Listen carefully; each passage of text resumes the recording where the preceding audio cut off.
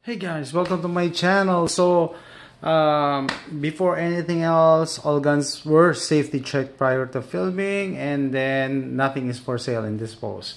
Okay, so, uh, last week nag-post ako sa FB ng uh, uh, barrel na nakita ko sa pawn shop, no? yung maliit pocket pistol. Smith Wesson yun, mas mahal. Pero, bumalik ko doon sa isang pawn shop, may nakita ako na similar. So, binili ko na. Okay? So, hindi itong Beretta 92S. This is a 92S. Uh, nilagay ko lang dito for comparison. So, tiny cocker. Okay. Beretta 92S. Ito, yung i-feature ko ngayon. Pocket pistol. I think micro, micro pistol to.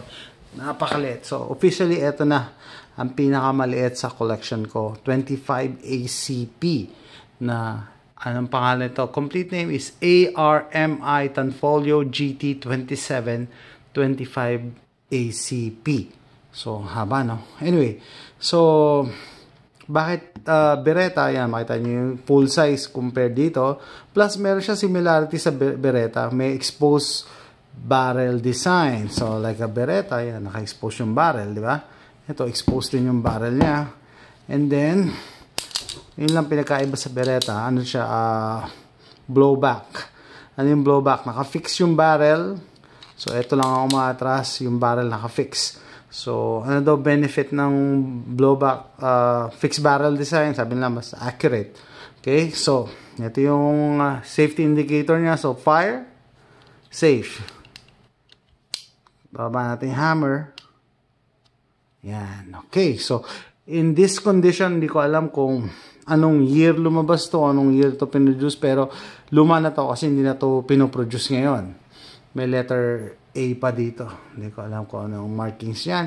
Pero sabi ko, in this condition, okay naman siya. Especially like yung grips, plastic grips, pero walang basag, walang major na na scratch, no? So, okay lang yan. So, and yung metal niya, feeling ko pinalish, pin, feeling ko tinanggal yung bluing.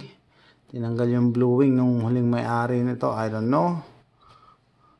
Tapos dito, wala siyang checkering, natatanggal na din yung bluing.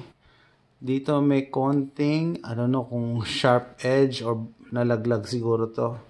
Pero anyway, kayang-kaya i-dremel, pakinisin. Walang problema. So, walang major defect akong nakikita sa condition nito.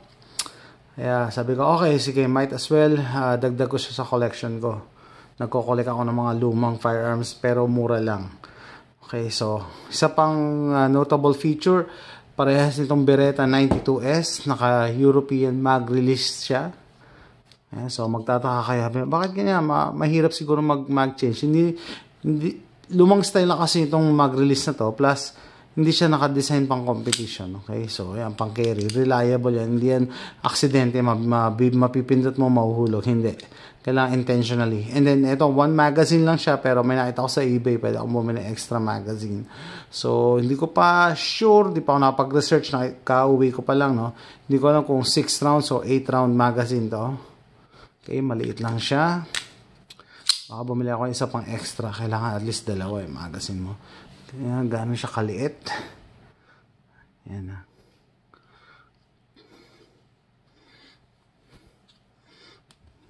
Yan. Tapos, uh, hindi ako fan ng 25 ACP kasi mahal ang caliber na yan eh. Mas mahal pa siya sa, sa 9mm pero less powerful. Kasi nga, supply and demand, bihira gumagamit ng 25 ACP kaya mahal. Kaya mas preferred ko ano um, 9mm Walter PP SM2 oh, kata nyo ha, nakababa ang striker. So safe yan. So and then naka-atras ng trigger. Sabi sabihin dito nakakasa. Okay. So kita nyo yung size comparison no?